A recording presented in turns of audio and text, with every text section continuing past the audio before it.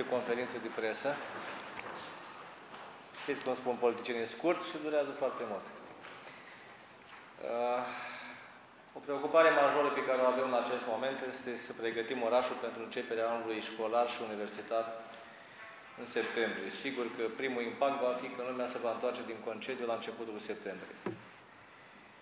Vrem să accelerăm lucrări în așa fel încât uh, marile șantiere din oraș să nu blocheze traficul, care să pună în pericol accesul la unitățile de învățământ.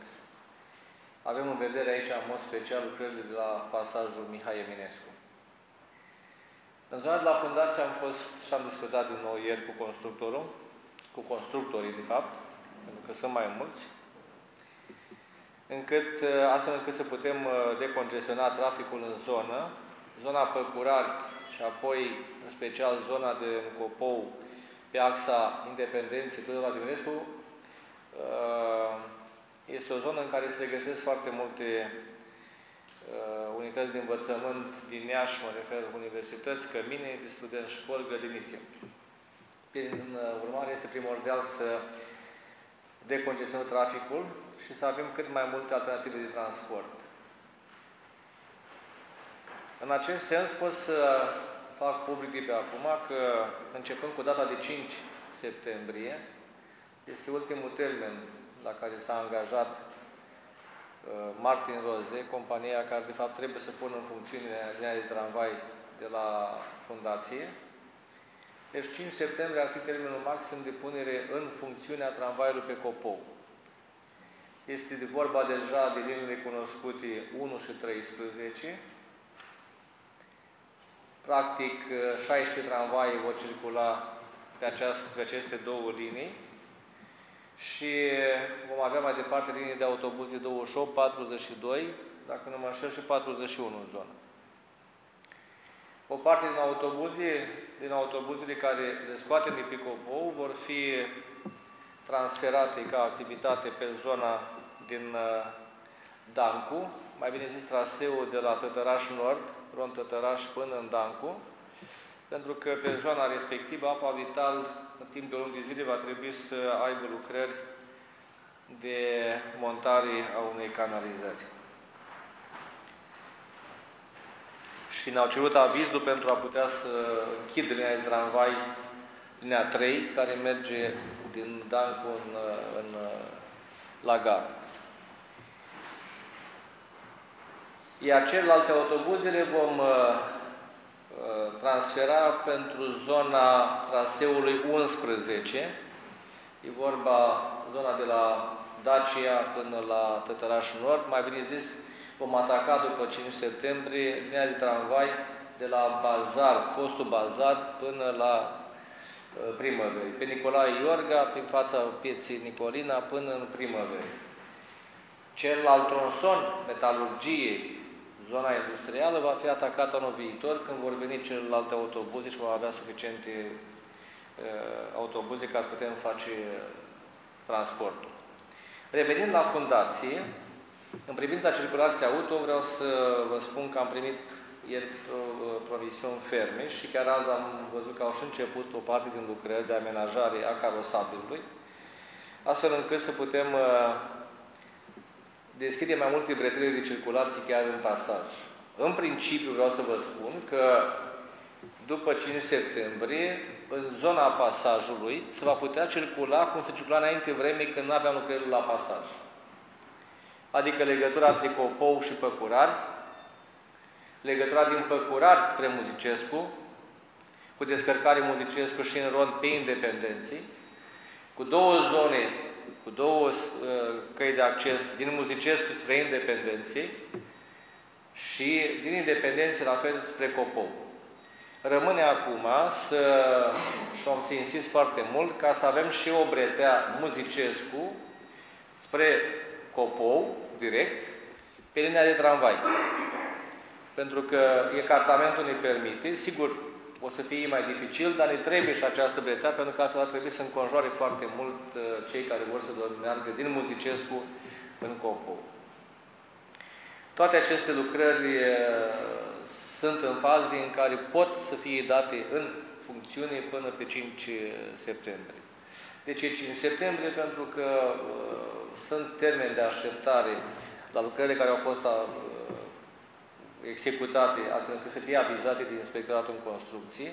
Sunt lucrări de așteptare la uscarea betonului și apoi sunt alte lucrări care trebuie să fie făcute legat de punerea uh, asfaltului și în special a statului de uzură și inclusiv a masticului dintre ele, la care țin foarte mult ca să nu afectăm în iarna care urmează această zonă a liniei de tramvai.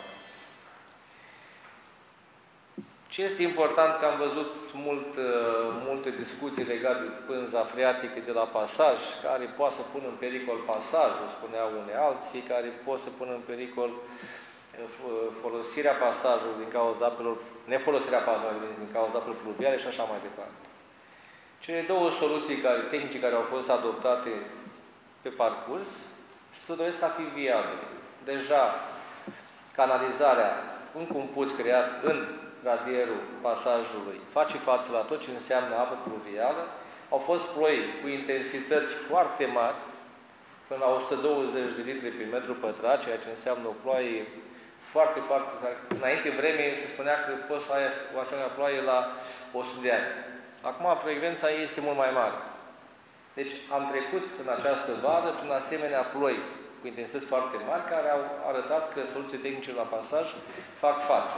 Mai mult, el a discutat cu constructorul și vom face o galerie, o galerie drenantă, care vom duce o canalizare chiar din pasaj, din radierul pasajului, în zona Râpa Galben, într-un colector foarte mare. Deci, practic, această lucrare nu va mai afecta partea de la suprafață, ci va fi efectiv un dren forat care se va face pe, în, în subteran.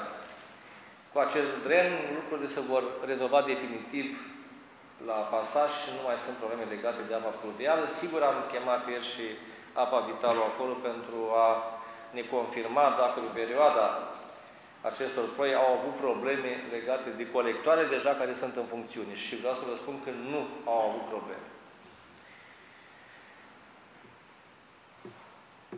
Încă un lucru la pasaj, pentru că cred că o să intereseze pe toată lumea, este vorba, ne preocupă foarte mult să putem pune în funcțiune în această iarnă. Mai avem încă niște lucrări de contractat. Documentația este la Ministerul Dezvoltării Regionale, așteptăm să ajutăm să primăm avizul. E vorba de finisajele pasajului și lucrările de, de finisare a întregului pasaj în care trebuie să selectăm un constructor și apoi să-și pregătească materiale, să facem un contract și să vedem când poate intra să înceapă aceste lucrări de finisaj. Deci spun pentru că dacă pasajul va fi gata, mă refer la partea de structură de rezistență și partea de platformă de radier, și dacă poate fi pus în funcțiune, nu vreau să-l întârzi să-l pun în funcțiune. Dar, sigur, și o lucrare acest gen pus în funcțiune fără finisaje, parcă nu arată foarte bine. Atunci vrem să câștigăm termen ca să lucrăm în paralel și constructorul care face parte de rezistență și cel care va câștiga licitația pentru finisaje să poată lucra în această toamnă în paralel pe porțiune de pasaj care sunt deja gata uh, finalizate. Am discutat, este posibil acest lucru, am dispus în cadrul primăriei urgentarea procedurilor pentru a putea contracta constructorul care să facă aceste finisaje. Sigur, nu e suficient să fluidizăm traficul doar în zona pasajul Mihai Eminescu. Deja ne confruntăm cu blocaje foarte mari în zona primăriei. Pe proiectul crește accesibilității, care sunt străzi din spatele arealului primăriei. Străzi din arealul primăriei, pardon. Până pe 5 septembrie, șase străzi în această zonă vor fi puse în funcțiune la strade Binder. Nu la uzură, dar la Binder vor fi finalizate. Și vorba de strada Dancu, Matei Milo, Agata Bârsescu, porțiunea din la Teatrul Național până la parcare din spatele primăriei, strada Armeană, strada Vovidenii și o porțiune din Costache Negri, cea de la hala centrală până la Elena Doamna. Cealaltă parte, celălalt segment, îl vom ataca după ce vom finaliza lucrările la magistrală de termoficare la M2. Terminul de finalizare a lucrărilor în aceast, la acest proiect este noiembrie 2013. Dar până în septembrie, până în 5-6 septembrie, vrem să terminăm această zonă ca să poată circula pe ea. Și sigur, avem promisiuni ferme de la Conest, pe axa culturală, că zona uh, de la Piața Unirii și până la Cina va fi gata, inclusiv Cina Icebrăteanu până la intersecție cu Cuza Vod, astfel încât să punem și acest, această bretea în funcțiune auto și să degrevăm traficul în zona centrală. Aici lucrurile deja, intersecțiile sunt deja uh, finalizate și semafoarele sunt deja funcționale. Uh, vreau să fac o precizare. Am observat că unii colegi din presă mai mult dezinformează ieșenii și sunt două aspecte aici. Unul e legat de declarație domnului director Virgil Băbâi, care a vrut telefonic și mi-a spus foarte clar că nu are niciun fel de problemă cu uh, pavimentul din zona statuiei uh, de la Miron, al Miron Costin. Statuia este într-adevăr monument istoric, dar pavimentul nu. Pavimentul s-a integrat în zonă, așa cum s-a integrat și celelalte instituții care sunt monumente istorice. Și metropolia e monument istoric. Ori pavimentul la Curtea Metropoliei va fi integrat în ceea ce înseamnă această zonă pietonală. Deci, nu e normal să facem știri doar pentru a dezinforma și aici o să, o să fiu un pic mai radical, pentru că văd că un anumit post de televiziune, și aici mă refer la TLM și la domnul Dobașu, își bat joc de cei care sunt la TLM. Nu de toți înșeni. Nu toți înșeni sunt la TLM se informează de acolo. Dar de cei care sunt la TLM își bat efectiv joc. Pentru că și dezinformează cras, exact ca pe timpul domnului Dănscu Secariu, care este patron și acum. Adică cum să spui tu, ăla care la TLM, că am vândut postul cu un euro? E anormal, e o porcărie. Așa cum arunci minciuna asta ca să scăp de faptul că un om de afaceri folosea postul pentru a-și proteja afacerile de sale în relație cu primăria, așa face și acum în continuare, pentru că e postul dânsului și în față domnul Dobașu, care pe site-ul lui face toată dezinformarea, și politică, și administrativă a oamenilor. Ba mai mult, domnul Dobașu a fost la mine, acela, când spune că a cumpărat postul, promițând că în câteva săptămâni de zile vom asista noi, ieșenii și eu, ca primar, la o altă abordare a, a strategiei postului. Și vedeți ce face. Aceeași, aceeași ură viscerală anti-Nichita și anti-primărie. Sigur, n-am nimic cu jurnaliștii de acolo, ei trebuie să aibă o bucată de pâine, dar politica de acolo face Dănuț Cristian care în continuare și sigur domnul Dobașu care este în slujba, nu știe a cui este. Fac această precizare pentru ca ieșenii să înțeleagă care este adevărul în acest oraș și să nu fie manipulați. Uh, vom avea o ședință de Consiliul Local luni, pe 26 august, Chiar dacă multă lume este în concediu, trebuie să o ținem. Sunt câteva proiecte pe care le-am pus pe ordinea de zi. Sper consilierii să participe și să le voteze. O să mă refer în special la două. De ce le urgentăm? Pentru că vrem să atragem fonduri europene și să pregătim documentația pentru fonduri europene. Un prim proiect este legat de regulamentul privind serviciul de transport public local de persoane, un studiu de oportunitate privind delegarea gestiunii serviciului de transport public de local de persoane și caietul de sarcini și contractul cadru de delegare a gestiunii. Cu cât vom finaliza acest regulament și aceste documentații, vom putea face mai departe uh, proiectele necesare pentru a obține fonduri europene pe măsura care vine pe transport public local. Orașele care au transport public local sunt preocupate astăzi să-și facă aceste documentații pentru a putea depune proiectele la începutul 2014. Și un alt proiect legat de uh, un proiect european, se numește Cascade. E vorba de un proiect finanțat din programul Energie Inteligentă Europa. Noi contribuim cu 2000 de euro deocamdată pentru că se fac training-uri. Ce urmărim aici? Intrăm în relații cu alte orașe din Europa, cu care începem să vedem care sunt metodele și modelele pentru eficientizare energetică. Atât în transportul public, cum se poate reduce consumul de energie electrică în transportul public. Cum putem reduce consumul de energie electrică la imobile. Cum putem folosi energia regenerabilă în orașe. Sunt proiecte care vizează sume imense de bani. Experții Băncii Mondiale au venit la Iași, au făcut o analiză, urmează să ne trimită și nouă concluzie, dar în discuții care le-am avut și materialul care va fi pus în masa Guvernului pentru a lua deciziile ulterioare în vederea obținerii de asta, alocării de fonduri pentru proiectele europene, se gândesc efectiv la economii de mii și mii și milioane de euro. Astfel încât Iașu va intra într-un într, parteneriat cu orașe din Polonia, Spania, Bulgaria, Italia și Anglia, pentru a vedea aceste bune practici și pentru a putea pregăti proiectele în continuare ca să putem obține fonduri europene. Asta se va discuta în ședința uh, Consiliului Local de luni 26. Am urgentat-o pentru că finalul lunii nu putem să mai ținem ședințe de Consiliu, pentru că sunt foarte multe dezbateri, multe, uh, multe întâlniri politice. La, la final de lună, atât ale PSD-ului, PNL-ului, cât și a USD-ului, în care se vor discuta probleme legate de Constituție, regionalizare, legate de ani, legate de calendarul politic a acestui an și de ceea ce urmează în perioada următoare, la care trebuie să particip și eu și sunt foarte importante pentru că fac parte în acest for de decizie atât al PSD-ului cât și al USD-ului. Un ultim subiect, am văzut că foarte multe lume s-a inflamat pe această problemă a regionalizării. Sigur că știrea importantă, adevărul mai puțin, dar eu trebuie să fac câteva precizări.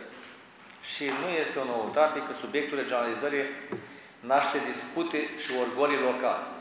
Am știut la bun început, l-am spus întotdeauna întâlnit cu dumneavoastră, l-am spus în toate dezbaterile publice, atât la Parlament, cât cei sunt la Iași, la Timișoara, la Cluj și așa mai departe. Am anticipat cu toții aceste lucruri și le reprezintă până la urmă ceva firesc.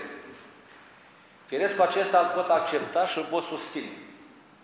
Dar n-aș vrea ca într-o temă care are interes național să, să omorâm un proiect de interes național. Prin faptul că de multe ori îi dăm nefiresc uh, subiecte care nu au niciun fel de, de, de, de sprijin real. Pe de altă parte, înțeleg și faptul că politicienii, fie ei primari, președinții Consiliului Județen, senatori sau deputați, unde au fost aleși, trebuie să-și reprezinte electoratul. Și nu o să vorbească nimeni din Vaslui uh, împotriva vasluienilor. Nu o să vorbească nimeni din colegii nu știu care împotriva oamenilor de acord. Ba din contră, să spun, da, suntem de acord să fie mai bine pentru noi de aici. Ei trebuie să-și reprezinte electoratul. Dar când discutăm de teme naționale, trebuie să avem această responsabilitate și a afirmațiilor, dar și a deciziilor. Aș mai face o precizare. Este un proiect de interes de dimensiune națională, dar și european. Pentru că asta înseamnă racordarea noastră a României la unități administrativ-teritoriale europene, la administrații publice europene în care această procedură, acest, această formulă de organizare funcționează destul de bine.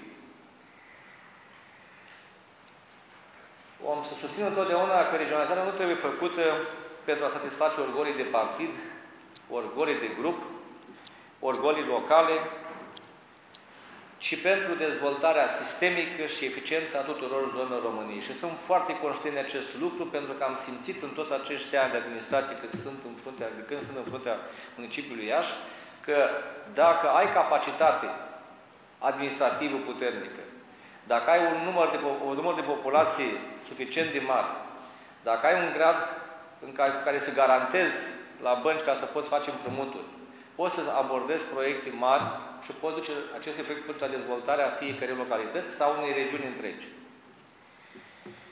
De asemenea, sunt de acord că specificul local face parte și există pe tot în România, face parte din viața noastră, din zonele noastre în care trăim toți. Sigur, specificul acesta local îl găsim și în Maramureș, și în Banat, și în Crișana, și în Muntenia, și în Dobrogea, și în Bucovina, și, și în Iași, și în Vaslui, dacă vreți. Iar noi trebuie să fim atenți ca în cadrul procesului de regionalizare să păstrăm acest specific local și nu doar să păstrăm, ci eu cred că trebuie să punem și în evidență. Trebuie să devină atractiv. Poate să devină acest specific local chiar un potențial economic pentru fiecare regiune. Ceea ce nu s-a înțeles este că nu vrem o nivelare pe regionalizare, ci vrem o diversitate. Mai exact, o diversitate în unitate. La asta mizez și eu, în toate discuții care le-am avut până acum, în toate dezbaterile la care am participat. Eu nu vorbesc de regionalizare în clipa de față doar ca un politician care așa îi se pare lui. Citesc foarte mult despre acest lucru, mă documentez, ceea ce face și uh, guvernul la, la momentul actual prin structurile care dau la Ministerul de Dezvoltare Regional. La Iași sunt până acum două analize făcute de specialiști, de profesori universitari, cu, cu discipline diferite. Sau discipline diferite care sunt istorici, filozofi, sociologi, economiști. La Universitatea Icuza există un centru de studii europene. Un prim material a fost pus în dezbatere la universitate, al doilea a fost pus în dezbatere când a fost la agronomie, sus dezbaterea cu Ministerul. Al treilea l-am înaintat când l-am primit la primărie acum câteva săptămâni despre ca în concediu. În care, în acel studiu, se vorbește de regionalizare nu pe criterii etnice și nu pe criterii istorice. Ținem seama și de factori etnic, ținem seama și de factori istoric. Dar trebuie să primezi de cel economic, pentru că ăsta este, de fapt, chitesența regionalizării. Să crească nivelul de trai în acea zonă. Să punem potențialul economic în, în mișcare. Și sigur că dacă ne uităm la acel document, care este elaborat de vreo 16 sau 18 profesori de la uh, Universitatea Alexandru Ion Cuza, oameni cu formațiuni diferite, dar și cu specific politic diferit. Pentru că îi cunosc pe unii dintre ei care nu sunt de, de, numai de, sunt de dreapta, sunt de centru-dreapta și așa mai departe. Și aceștia nu s-au gândit numai la politică, dar au surprins elementul politic, au surprins elementul etnic în ceea ce au propus deja acolo. În tot ceea ce analizează ca riscuri, pot scoate în evidență foarte clar orgoliul local, scoate în evidență decizia politică și scoate în evidență criteriul etnic, ca riscuri recomandă foarte clar ca regionalizarea să facă pe criteriu economic și să facă pe structuri administrative, teritorial administrative, care de fapt să aibă un număr important de locuitori care de fapt să dea consistență procesului. Sigur, am auzit și alte opinii, că trebuie să fim mai mici, să ne permițăm. Nu există așa ceva. Iar pe criteriul istoric, încă o dată repet, dacă vom aborda strict criteriul istoric, care e foarte sensibil, vom avea doar o fărăpințare a României și nu va, nu va merge nimeni pe această structură. Niciodată nu voi vota ca politician criteriul istoric, ci criteriul economic. Sigur că uh, discutăm astăzi de județe. Există posibilitatea microregiunilor în situația actuală proiecte care se fac pe microregiuni, niciodată să unesc două, trei județe între ele și poți fac un proiect oricând. Așa vor funcționa în viitor și în cadrul regiunilor la un moment dat. Poți să ai în cadrul regiunii microregiuni, cu specific, cu proiecte specifice, dar regiunea trebuie să aibă o dimensiune care, de fapt, să creeze cât mai rapid uh, creșterea nivelului de trai și scăderea, adică creșterea coeziunii economice între, între, între ținuturile acestei țări. Repet și cu asta închei că regionalizarea trebuie să țină cont în mod fundamental de criterii funcționale, economice, nu de tradiții și orgoli. S-a discutat foarte mult și vom repet încă o dată că anumite instituții sunt distribuite în anumite orașe importante ale regiunii. Este un lucru care, de fapt, se încearcă să să se creeze poli de creștere în fiecare regiune. Să nu credeți că dacă se face regionalizarea, vor fi orașe sau zone defavorizate în cadrul regiunii. Iași are axa sa de dezvoltare cu fonduri europene. Suceava o are, Bacău o are, celelalte orașe o au, județele au. Important este să, abordez, să abordăm mai departe proiectele foarte mari strategice. Scopul este, încă o dată spun și cu asta închei, să creăm bunăstare la nivel regional și nu să alimentăm orgoliu și simțul apartenenței. Respect, repet, respectăm diversitatea, dar sprijinim unitatea. Asta este ideea mea despre regiune, n-am niciun conflict cu nimeni, o să-mi spun punctul de vedere tot timpul, pentru că el este argumentat cu studii, cu documente și cu exemple care sunt în practica europeană. Dacă aveți dumneavoastră întrebări.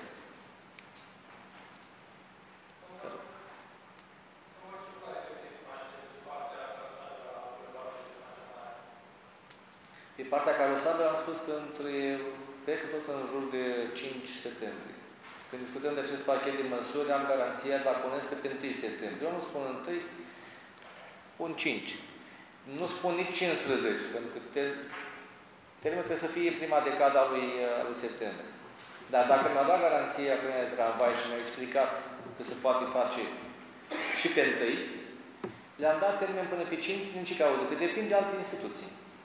Adică să vrească avizul de la inspectorat, ca să-i facă probele. Sunt chestiuni care nu le poți, nu le poți neglija.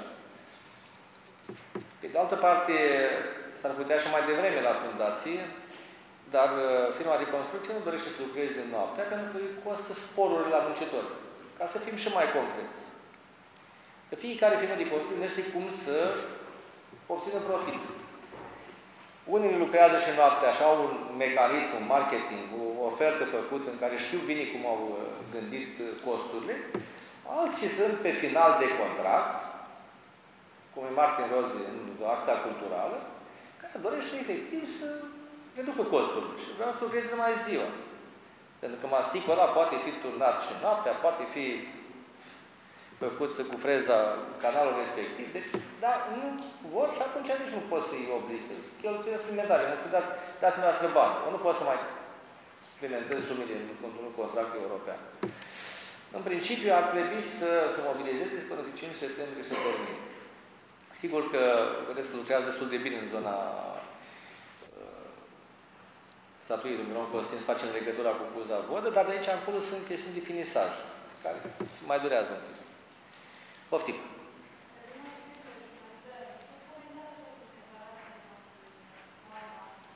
Eu am văzut conferința de presă și cred că avem opinii diferite. El a spus acolo câteva lucruri foarte clare, că respectă Bucovina și microregiunea și așa mai departe și că o susținem proiecte care le are mai departe cu alte regiuni din Ucraina. Și eu total de acord. Și eu susțin Bucovina. În, în proiectul nostru Uh, ca Iași, capitală culturală europeană, trebuie să ținem seama de Bucovina și specificul ei. Trebuie să facem parteneriate, evenimente comune. Trebuie să o punem în evidență. Dacă vreți să fim capitală culturală europeană, să avem șanse să câștigăm. N-a spus, în schimb, nimic, că n-a spus că Iașul nu e capitală regională. Țineți minte? Am văzut și conceptul sunt direct, am văzut și eu.